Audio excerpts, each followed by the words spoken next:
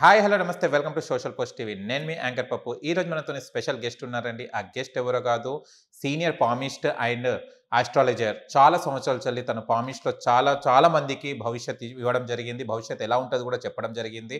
And చాలా మంచి ఫలితాలు కూడా అందుకున్నారు చెప్పిన వాళ్ళు. అండ్ ఈ రోజు అతను ఎవరో కాదు మనకు కడలి సత్యనారాయణ గారు మనతోనే ఉన్నారు.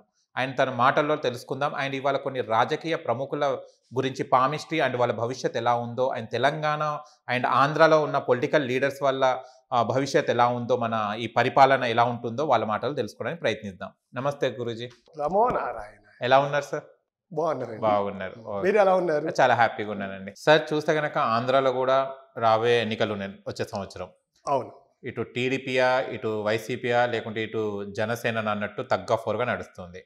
అండ్ కొంతమంది ఏమో టీడీపీలో అసలు లోకేష్ గారికి అసలు రాజకీయం అంటేనే అసలు రాజకీయానికే సెట్ గాడు లోకేష్ గారు అని అనడం జరుగుతుంది. ఆపోజిషన్ పార్టీ వాళ్ళు కానీ కొంతమంది విమర్శిస్తున్నారు. కానీ లోకేష్ గారికి సీఎం అయ్యే యోగ్యం ఉందా? And TDP party నిలబెట్టగలుగుతాడా?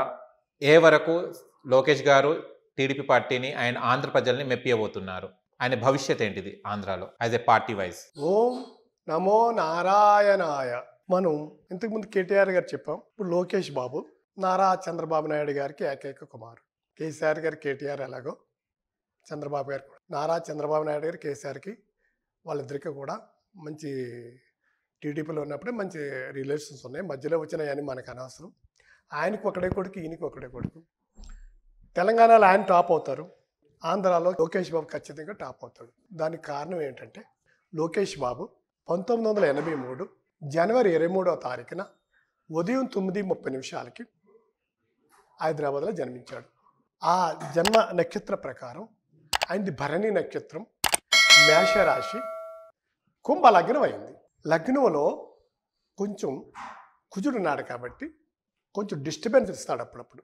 ఇచ్చినప్పుడు కూడా లగ్నాధిపతి భాగ్యస్థానంలో శని వచ్చే స్థితిలో ఉన్నాడు.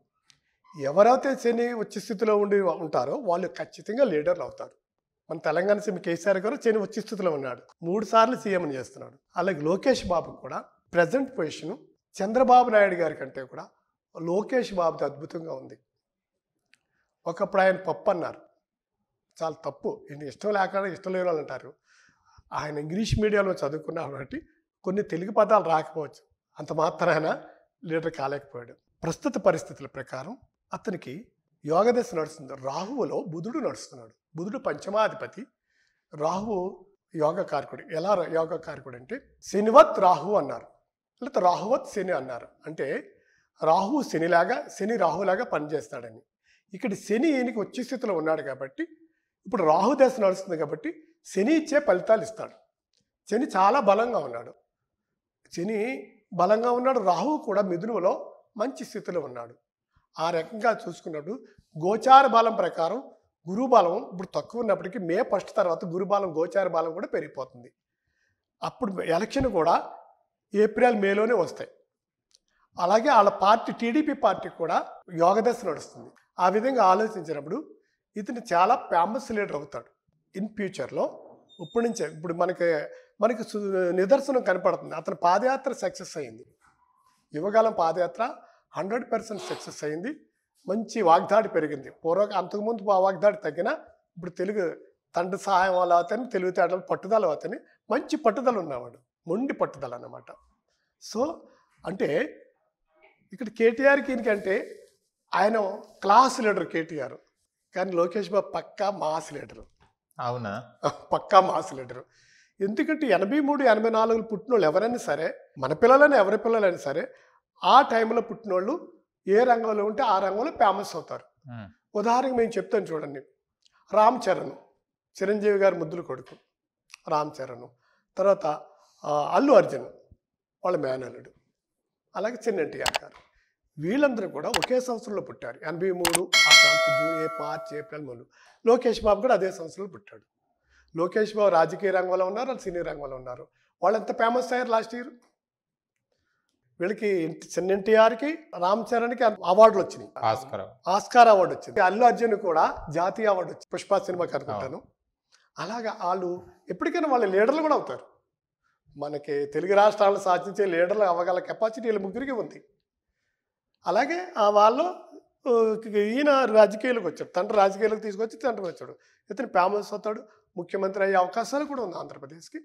తర్వాత ఏంటంటే ఇక్కడ ఏంటి? ఆంధ్రాలో పరిస్థితి ఏంటంటే మూడెద్దుల పోరాటం నడుస్తుంది. మూడెద్దులు ఏంటంటే అక్కడ జగన్ కూడా తక్కువడేం కాదు పాలన అంటే ఆయన సొంతంగా. మొండి మొండిగా చేస్తున్నాడు కానీ పాలన అతనికి కూడా జాతకం బాగుంది. అది అంతర ఆయనకి రద్దంతర రాజయోగం ఉంది. ఏంటది? అర్ధంతర రాజయోగం. అంటే రాజయోగం లేని రాజయోగం మాయా రాజయోగం. ఆ విధంగా ఆ పార్టీ కూడా అలాగే వచ్చింది. ఎందుకంటే ఆంధ్రాలో రెండు వేల పంతొమ్మిదిలో ఎలక్షన్ జరిగినప్పుడు ఎక్కడ ఎలక్షన్ జరిగినా రెండు రోజులు మూడు రోజులు రిజల్ట్స్ వస్తాయి వారంలో. కానీ ఆంధ్ర ఎలక్షన్ జరిగినప్పుడు నలభై రోజులు బ్యాలెట్ బాక్సులు ఉండిపోయి బ్యాలెట్లు. అప్పుడు ఏమైనా జరగచ్చు.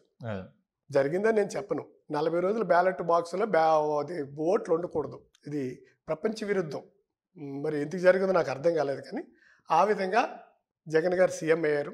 వాళ్ళ ఫాదర్కి ఇతనికి పరిపాలన తేడా ఉంది. ఆయన చంద్రబాబు చేసిన డెవలప్మెంట్ ముందుకు తీసుకెళ్తే ఈయన రివర్స్లో వెళ్ళాడు. విధ్వంసక పాలన అని నేను చెప్తాను. ఆయన మీద నాకు ఏం కోపలేదు గ్రహాల స్థితిగతుల నుంచి నేను చెప్తున్నాను. ఇప్పుడు పరిస్థితి అలా ఉంది.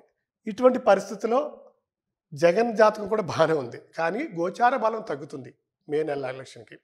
ఆ విధంగా ఆలోచించినప్పుడు ఇద్దరు టీడీపీ వైసీపీ. ఎలక్షన్ జరిగినప్పుడు మధ్యలో అత్యధిక డివోషనల్ పవర్ కళ్యాణ్ కే అది పవన్ కళ్యాణ్ వస్తున్నాడు.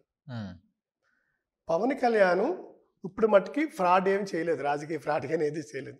ఎందుకంటే ఆయన ఏ అధికారంలోకి రాలేదు. స్వచ్ఛమైన లీడరు. దాన గుణం కలిగిన వాడు. తనది ఎవరికైనా పెడతాడు కానీ ఎత్తటి వాళ్ళ సొమ్ములు ఆయన ఆశించడం. మనం చూస్తున్నాం కూడా రైతుల విషయంలో కానీ అని పొద్దున అధికారం వచ్చాక ఏం చేస్తాడో తర్వాత విషయం. అది పవన్ కళ్యాణ్తో ప్రస్తుతం ఇది తప్పు చేయని లీడర్ ప్రస్తుతానికి. జగన్ గారు పరిపాలిస్తున్నాడు. ఆయన కూడా తప్పులు చేయొచ్చు పరిపాలన పరంగా. ఇంతకుముందు ఈయన కూడా మంత్రి చేశాడు లోకేష్ బాబు. వాళ్ళిద్దరైనా మిస్టేక్లు చేశారేమో కానీ ఈయన మాత్రం ఇప్పుడు మాత్రం స్టిప్ మిస్టేక్ అనే పదం ఈయనకి వర్తించదు. ఆ విధంగా ఈయన ఈ ఈ టీడీపీకి వైసీపీకి మధ్యలో జనసేన వచ్చి ఒక బలమైన నాయకుడు బలమైన వ్యక్తి బలమైన వ్యక్తిత్వం కలగాడు స్వచ్ఛమైన అదే నేను బటర్ మ్యాన్ అంటాను పవన్. కళ్యాణ్ గారిని. వస్తున్నాడు కాబట్టి టీడీపీకి ఎక్కువ అవకాశాలు ఉంటాయి. జనసేనకి టీడీపీకి గవర్నమెంట్ ఫామ్ చేస్తుంది.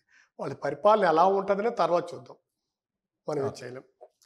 గోచార బలం ప్రకటించే అక్కడ మూడు పార్టీలు కూడా బలం ఉంది. ఈ రెండు పార్టీలు కలిసినాయి కాబట్టి ఒక ఎద్దు మీదకి రెండు ఎద్దులు వెళ్ళినప్పుడు ఆటోమేటిక్గా రెండు ఎద్దులు విన్ అవుతుంది.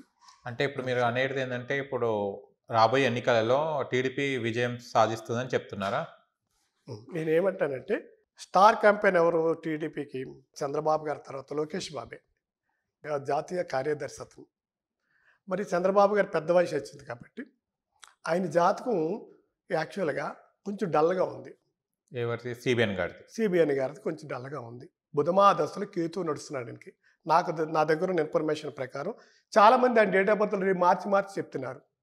నాకు ఇన్ఫర్మేషన్ వచ్చిందంటే ఆయన మే నెల ఏప్రిల్ ఇరవై పంతొమ్మిది వందల యాభై ఉదయం పదకొండు గంటలకి చిత్తూరు ఏరియాలో జన్మించారు. వాళ్ళ ప్రకారం చేసినప్పుడు ఆయన ఇప్పుడు బుధమా దశలో కేతు నడుస్తున్నాడు కాబట్టి కేతు వరిష్ట కారకుడు. కేతు వరిష్ట కారకుడు. కష్ట నష్టాలు ఇస్తాడు. విషప్రయోగం చేస్తాడు. దుష్టప్రయోగం చేస్తాడు. కుట్రలు పన్నిస్తూ ఉంటాడు. ఆ కుట్రలకు బలవుతూ ఉంటాడు. ఆ ఆరోగ్య నష్టం జరుగుతుంది. పేరు ప్రతిష్టలు కూడా కొంత డ్యామేజ్ అవుతుంది. కోర్టు పరంగా ఇబ్బందులు ఉంటాయి. ఆ, తర్వాత వృత్తిపరంగా ఇబ్బందులు ఉంటాయి. బంధువుల పరంగా ఇబ్బందులు ఉంటాయి. కేతు అంటే నా అరిష్టం. మన సైతాన్ అంటాం కదా. సైతాన్ అంటాడు కేతు. రాహు పర్వాలేదు. ఆయన రాగానే కుట్ర ద్వారా కుట్ర ద్వారానే ఆయన జైలుకి వెళ్ళాడు. Is a best administrator of India only Telugu వాళ్ళు కాదు. ఇండియాకే మంచి లీడర్ అయినా భవిష్యత్తు ఉన్నవాడు. అటువంటి వాడికి ఇబ్బంది వచ్చిందంటే మనం అందరూ చూడండి మనకి ఆయనకి సాఫ్ట్వేర్ ఇంజనీర్ ఎంత స్పందన డెబ్బై దేశాలు ఆయన పేరు ప్రతిష్టలో. అరెస్ట్ అవటం వల్ల ఆయన పేరు పెరిగింది. పేరు పెరిగింది డ్యామేజ్ అయితే అయింది కదా. హెల్త్ డ్యామేజ్ అయింది నేమ్ డ్యామేజ్ అయింది? సేఫ్ అయ్యాడు. ఆయన రాష్ట్రపతి అయ్యే అవకాశం ఉన్న లీడర్ ఆయన అంత లీడర్ కూడా అప్ అండ్ డౌన్ ఉంది. అప్ అండ్ డౌన్ జాతకాలు ఉన్నప్పుడు ఇలాగే ఉంటుంది. తర్వాత ఏంటి మంచి భవిష్యత్తు. తెలంగాణలో మన కేటీఆర్కి ఎంత భవిష్యత్తు ఉందో జాతీయ అంతర్జాతీయ స్థాయిలో లోకేష్ బాబు కూడా అంత స్థాయి వస్తుంది. జాతీయ అంతర్జాతీయ స్థాయిలో. ఎందుకంటే ఇతనికి రాహు దశ వెళ్ళిపోయి గురుదశ గురుదశ వెళ్ళిపోయి శని దశ. శని వచ్చే స్థితిలో ఉన్నాడు. శని కనుక ఎవరికైతే బలంగా ఉంటారో మీ ఇందాకే చెప్పాను వాళ్ళు ఫేమస్ అవుతారు. ఏ రంగంలో ఉంటే ఆ రంగంలో. అంటే రాజకీయం అనే కాదు. అది సినీ రంగంలో కావచ్చు లేకపోతే సెంట్రల్ గవర్నమెంట్లో అవచ్చు ఏదైనా ఏ రంగంలో అంటే ఆ రంగంలో. ఇప్పుడు నేను పా ఆస్ట్రాలజర్ని. నాకు శని బలంగా ఉన్నాడు. అందుకని వాక్శుద్ధి పెరిగి నేను జ్యోతిష్ పండిట్ని. మా ఫాదరు మదరు మా బంధువులు ఎవరు జ్యోతిష్ పండిట్లు కాదు. అది this is the god gift నాకు. అట్లా ఏ రంగంలో ఉంటే ఆ రంగంలో ఫేమస్ అవ్వగలుగుతాను ఓకే అందుకనే ప్రకృతిని శాసించే శక్తి గ్రహాల్లో శనేశ్వరుడికి ఉంటుంది. ప్రపంచాన్ని సాధి శాసించగలడు ఆయన పైన భగవంతుడి కృప ఉంటుందన్నమాట. ఇవన్నీ కూడా దైవాధీనమే. సర్వ సృష్టి కూడా దైవాధీనమేనండి. హేతువాదులు ఏమంటారు నాకు తెలియదు కానీ నా ఉద్దేశంలో సర్వ సృష్టి కూడా దైవాదానం ఓకే దైవాధీనం దైవాదానం అంతే. అంటే ఇప్పుడు మేము అనేది రాబోయే కాలంలో లోకేష్ గారి భవిష్యత్తు రాజకీయంగా. చాలా బాగుంది రాజకీయంగా అది ఏ రంగంలో ఉన్నా అని ఫేమస్. మనం జ్యోతిష్ పండిట్ ఎవరైనా రాబోయే తరాల్ని ఎంకరేజ్ చేయాలి. తప్పుంటే తప్పు చెప్పాలి. ఇప్పుడు అలాగే కదా అదే జగన్ బాబుని అలాగే కదా ఎంకరేజ్ చేశారు కదా పబ్లిక్ అందరూ. అంతే ఆయన నిలబెట్టుకోకపోతే మనం ఏం చేయలేం. ఆయన నిలబెట్టుకోవాలి. నిలబెట్టుకోవాలి మంచి పనులని సంక్షేమ కార్యక్రమాలే కాదు. దేశ అభివృద్ధి కార్యక్రమాలు చేయాలి. అదే. అప్పుడే కదా జనాలంతా ఖుషిగా ఉంటారు. ఓకే. అది. ఓకేనండి. Thank you.